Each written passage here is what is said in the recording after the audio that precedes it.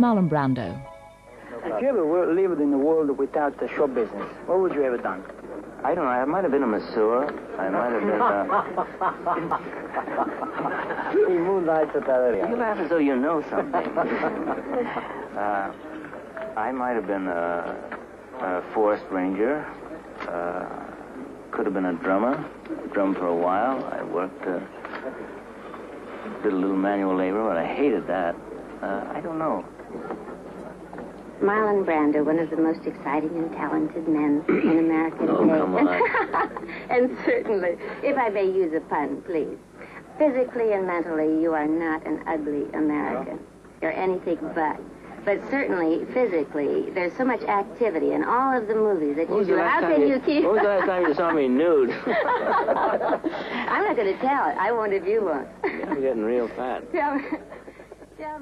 In a New York hotel, Marlon Brando agreed to meet with television reporters from across the country. The subject, his latest film. The reporters ask many predictable questions. Mr. Brando gives few predictable answers. Marlon Brando has always reserved the right to think for himself, to answer for himself, and if necessary, to go against the grain.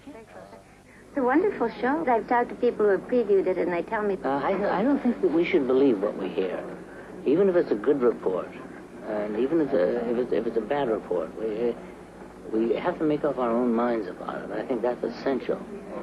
And uh, don't you, you should make up your mind about that picture until you see it. You know, this is sort of it's a sort of your whole personality in a capsule. Not to believe. Uh, How do you know what my personality is? Because I have met you and you you radiate your personality. Really? Uh huh. Oh. Excuse me. Does your Indian uh, movie has a title yet? No. No. You're, you're going to be the director. All right.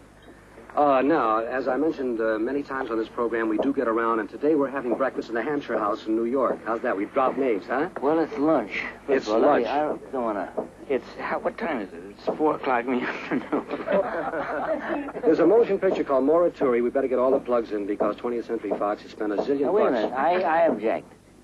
You mean in my, in my relating to 20th Century Fox? No, I think that we all, every time we get in front of the television, everybody starts hustling. Yes. And you feel that you're obliged to hustle the picture, and uh, and uh, I feel reduced to huckstermanship. But after all, they did pay a fortune for this, the, the purpose. We would never be sitting here if they didn't want to huckster the picture. I don't think we've got to kind of sneak around it. I think we've got to say we're here as as hucksters. Yes. He's a newsman, and I'm I'm a huckster, and I'm thumping a tub for a picture Morituri. called Morituri. Yeah. I'm at New York's Hampshire House, where we have just attended a very gala luncheon, which was hosted by one of the members of the power elite of his world, Mr. Marlon Brando. Very often. You're one of the prettiest uh, interviewers that I've. Uh, Thank you. You're one of the most gracious hosts I've ever met. really. Yes.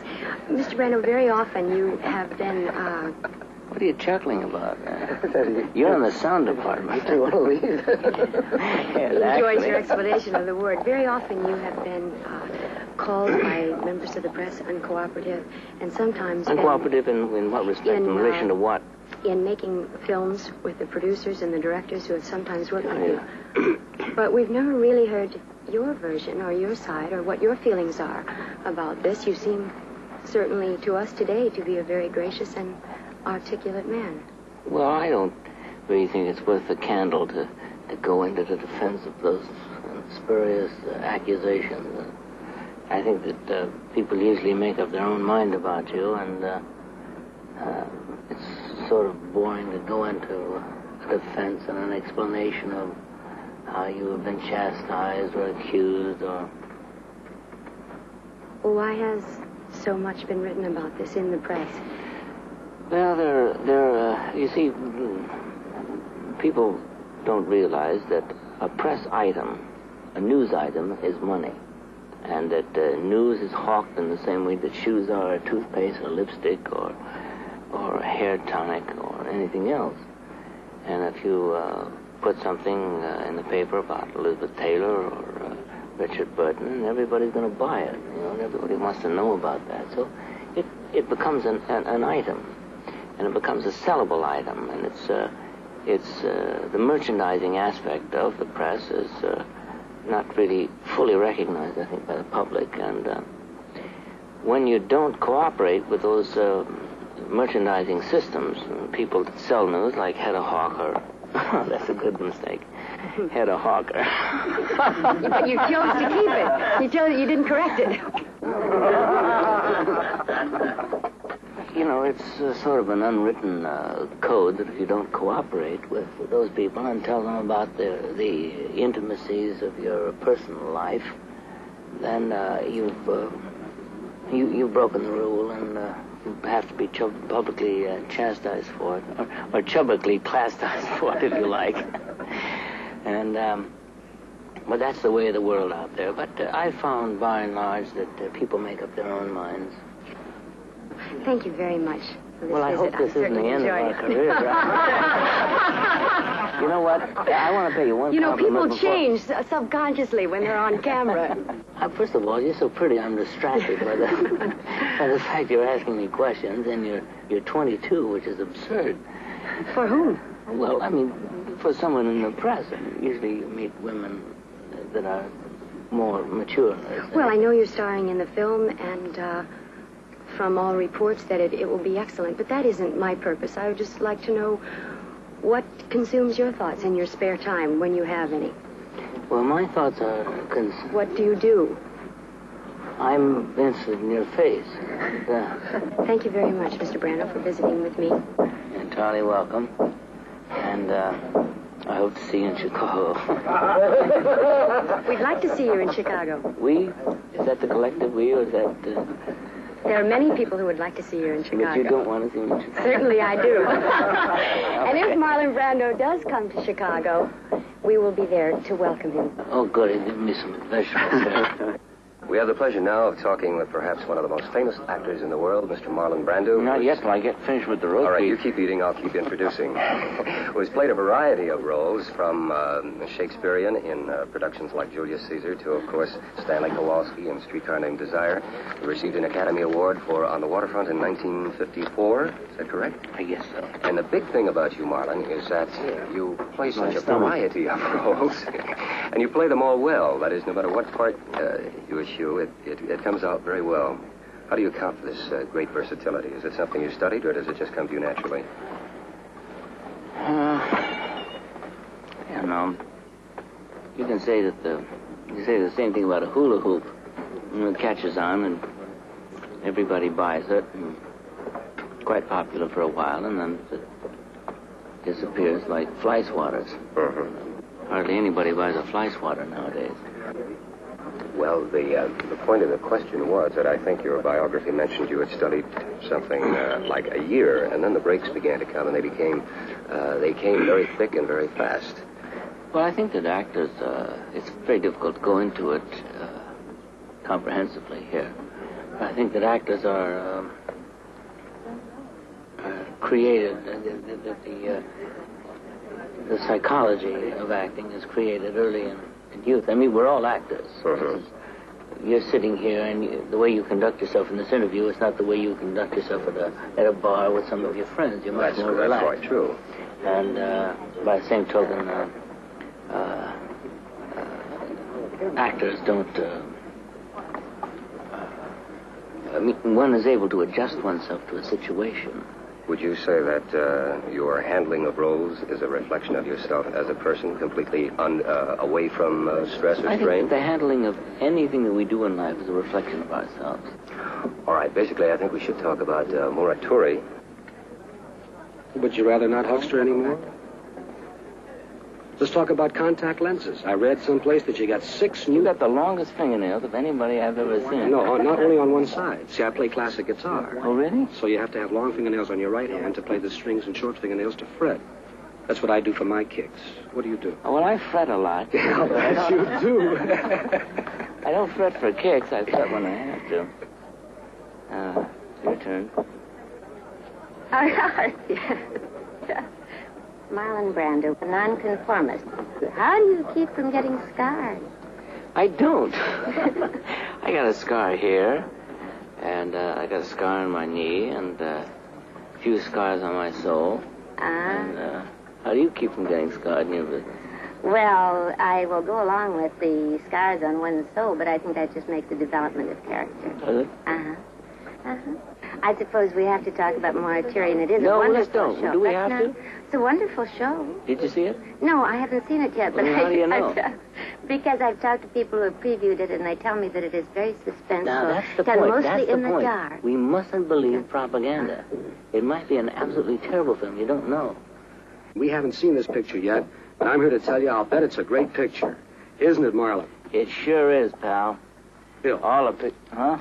Sorry, you could call me Bill. All the pictures they make in Hollywood are really great films, and They really are. everybody knows that. And uh, They haven't made a bad picture there in, in 90 years, isn't it? That's right. That last picture, Lassie Gets Oh. Bar Mitzvah. That was probably the last bad picture that I think Hollywood made. Bill, it's been wonderful talking to you, and I, yeah, it's a real checkered coat, and, and Let's do it. both for Wilkie. Right. And uh, Marlon, it's sure been wonderful having you on our program, and it's just, uh, it's always a pleasure talking with a great star, and you Oh, really are a great star. what are you smiling about? You tickled me. Let's start the whole thing over again. Marlon Brando, we'll be right back after these messages of great interest.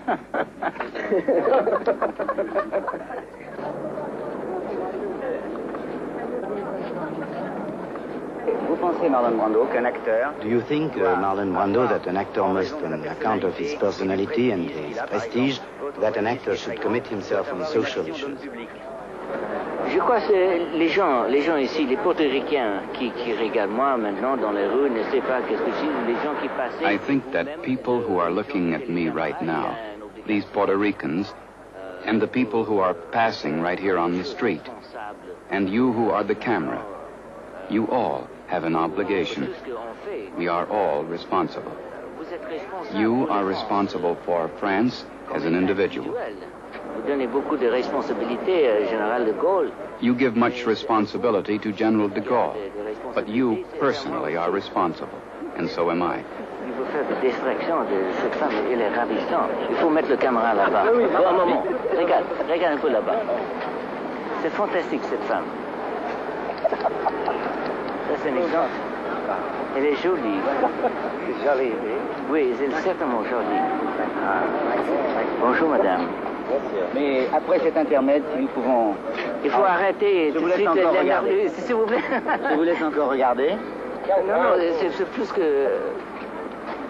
C'est trop pour la journée. Mais, mais-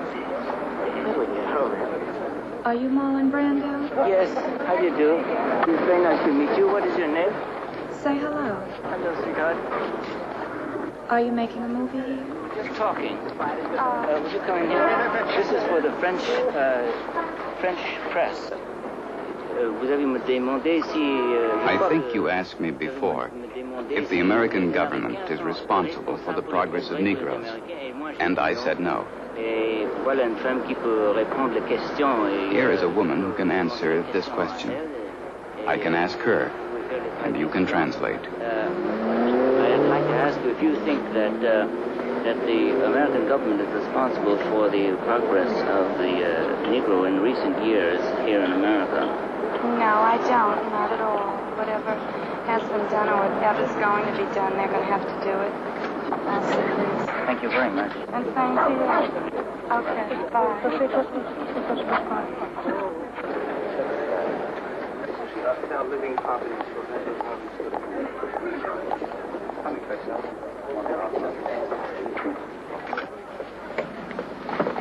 And I'm looking at the smile very carefully here. We're at the Hampshire House, overlooking Central Park in New York City. We're visiting with Mr. Marlon Brando. I have a kind of fond memories of this place because uh, this is the uh, Hampshire House, I think. yeah. it was- Well, I mean, one can be confused in this day and age. It's permissible. But I was staying here one time when I was dead broke. Are you a native New Yorker? No, I was born in, uh, I'm a corn husker. I was born in Nebraska. It shows we get the wrong impression. You're so convincing and on the waterfront. Where do you hail from? Our television show is called Ten Around Town, and it's in Philadelphia. Were you born there? Yes, I was. Philly. I'm a native Philadelphian, although I live here in New York now. You think there's more brotherly love in the state of Pennsylvania than there is in Alabama? Yes. Really? I think the North has its problems with brotherly love, just in some ways very much the way the South does. Have you got, you're interested in this, you're active working for it. Have you any ideas of solutions? We get lots of criticisms in New York City, in Philadelphia, in the South.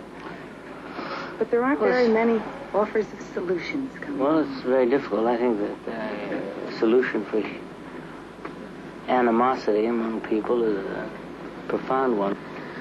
Uh, Do- uh, Dr. Leakey, who has been spent a great deal of time in the Olduvai Gorge in Africa, Tanganyika region, has uh, uh, has uh, produced evidence that there is a baboon who carried a weapon and went around killing uh, other baboons and other forms of life. And uh, his thesis is that uh, there's something innate in the human animal that makes him aggressive and that na- makes him need, uh, find a reason uh, to, to hate somebody or to fear somebody and to kill somebody, that we are innately a hostile people. Do you personally believe that? And uh, I don't know, but I would certainly think that uh, historical, uh, an examination of history would uh, would produce some evidence to that effect. But uh, but uh, people people tend to do that, and it's a, it's a strange thing. It's you're signaling. You know, we had a lot of fun when you played um, Sky Masterson in Guys and Dolls. Are you going to do any more musicals? Well, I heard my I they tried to record my singing in that, Mm-hmm. and I I can't sing any better than a kangaroo. And um, so what they had to do was I'd sing one phrase like your eyes are the eyes, and then they'd cut because I'd be off key. And so they put the whole thing together in tiny little segments. And uh, finally, uh, uh, after they got through the whole thing, they put it all together. They found that I hadn't taken one breath during the whole song. Whenever you come through Philadelphia, please come in and we'll talk on any of your favorite subjects. Okay, I'd like to talk about, just for two seconds about your voice. It has a very nice quality. Thank Very you. Very restful quality and very soothing. and Kind of like pulverized walnuts with, uh, what do they call it? Uh, sandalwood.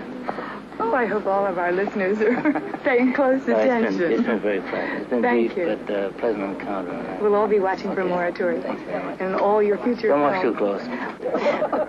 Well, today we're interrupting a gentleman uh, participating in lunch, Marlon Brando. Okay, do you bite your nails? No, I don't. I got a dog that does it when I'm asleep at night. You know, I, so I sleep with my hands outside the blanket. We had the footwork of Willie Pep in the old days. I want to ask you something. You know, uh, you're a very soft-spoken individual, right? Once in a while. Yeah, well, why is that? I mean, why do you speak so softly? I mean, don't you ever have an urge to roar, roar out at someone? Would you mind saying that again? Roar? Yeah, I like like that. Well, I uh, I get off once in a while, and if my secretary doesn't tell the maid to clean the cracker crumbs out of the bed, and I roll around on them and toss and turn, and I. Uh, You sort of, you sort of raise your voice in anger. well, I have my I have my. I think we all have our moments in life, don't you? I think so. Mean, when the dog comes in and, and, and is disrespectful to the rug, I, I think that you. Have a chance to bark back at him, huh? I was talking about you last week, Marlon. I was in Israel with Yul Brynner, and uh, he was telling me that he had enjoyed very much making the movie uh, Morituri with you. And I imagine you enjoyed it too. You play a German in it, right? Das ist richtig. Jawohl, das ist bestimmt. Ich habe mir auch gesehen, wir schauen gewöhnt, merkbar. Jawohl. Wenn, wenn, du bist ein sehr scharfer Mensch, da haben sie wohl dem Muffe gebucht. ja, das ist sehr gut. Vielleicht wir können gehen, wenn du hast fertig essen und gucken vor ein, ein äh, junge, junge Fräulein, äh, vielleicht ein bisschen mehr essen, ja? Moressen, ja. Ja. Moressen and less essen. well, friends on the Berlin Network, we're delighted to be visiting with you today. Do you do? We, we have could change my wig, please. Put it on the side.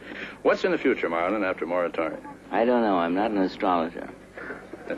Um, the future is difficult to predict.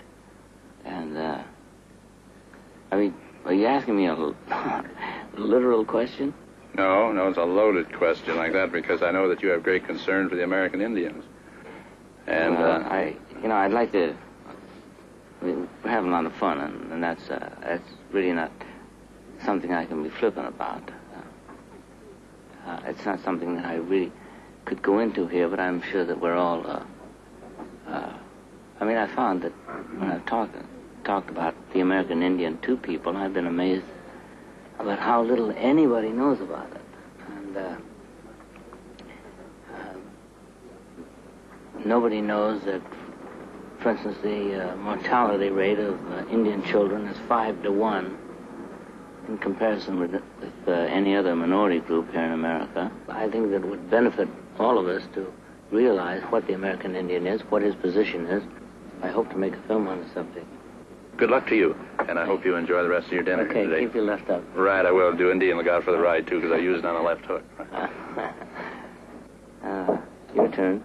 Well, I'm representing WNAC in, in Boston, and our viewing audience would love to know why you're here and for you to tell us about your latest movie. How old are you? About 23? No, I'll be 21 in March. 21 in March. Yes. But that's supposed to be a woman's privilege. What is? Her age. What are you talking like? Uh, you're talking like an American adage. Uh,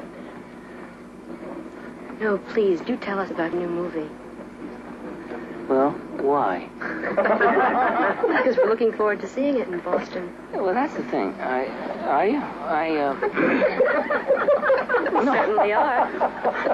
uh, excuse me, I didn't mean to touch your ankle. Uh, uh, well, what would you, what can I tell you about it? Oh, like to tell us something about, oh, behind the scenes while you were making the picture, or... What How you far found? behind the? Oh, just some interesting things that our audience would like to hear about. well, uh, I'm sure you've run into, oh, Bernie Wicki smokes the worst cigars of anybody I ever knew. He hasn't made a. Huh? He's outside. Well, I'll tell him. We'll get him in here. I'll tell him. He knows that. I hate his cigars. And uh, he smokes cigars that were made of. They got some some shoes from some Italian fishermen who have rope soles on their these rope sole sandals. They crush them up and mash them around and send them to Vladivostok. She was Miss USA. Is that a fact? yes, it is. Well, I I could have guessed. That's very sweet of you. Well, you know, it's unusual to find somebody as beautiful as you are who is uh, also a college graduate and seriously interested in uh, world affairs and uh, studying law. Well, I, I enjoyed being Miss USA, but I'd like to grow old gracefully, so I thought You better talk out of the side of your mouth. Did you ever that, uh, notice that? When No, you I- talk, you talk. It's charming. It's a it's a- Unintentional. It's a physical idiosyncrasy, but it's, uh, it's a charming one. What what speech did you make when you accepted uh, the title of Miss USA? They had asked me to curb, or what I would do to curb juvenile delinquency at the time. I thought the best thing to do was to raise the age requirement to, um... Your hair is over your eyes. We can't. I can't. We can't see your right eye. Oh, no, talking from the side of my mouth and co- wouldn't want to do that. But, um, I thought we should raise, raise the age requirement in school so that youngsters would stay until they were about 16 or 18, or at least high school graduates. Do you think that would help curb juvenile delinquency? I think it would be a start, keeping them busy, study more. And even the Dr. Ralph Bunches or people of this nature who, you know, do strive for education and achieve it, no matter what the obstacles. I think a little more of this kind of spirit would help us in, in tremendous. I often wonder that most, um, certainly I'm not an expert in the field, but most education today seems to be aimed toward supplying people with information Yes. Giving people information as to how to make money and prepare themselves for making money and has very little to do with preparing them for the problems that they're going to meet in life on an emotional level, uh, philosophical level. We'd like to thank Marlon Brando for being with us and giving us a little bit of insight about his views of education. And um, I try to stay neutral somehow. Why? She was Miss USA. What year was that? In 64. 1964, she was Miss USA. I asked if she was pretty, and she said she, well, that was a subjective opinion. She didn't really know. And it was only six judges that decided, so I don't think it, it wasn't very decisive. But you, but you went through several stages to arrive finally at the, uh, at, uh, the title, didn't you? Yes. So it was really more than six judges. Well, six here and six there, and I was very honored. But, Mr. Brando, thank you so much for being my guest. Good night, folks. Smoke after most cigars. But first, remember Marlon Brando in the 20th Century Fox motion picture, Morituri. It's a great Yeah, picture, and he's a great actor. God's sake, go see that, will you? Because you really won't know how to proceed in life if you don't see Morituri. It's one of the most important things you'll ever do.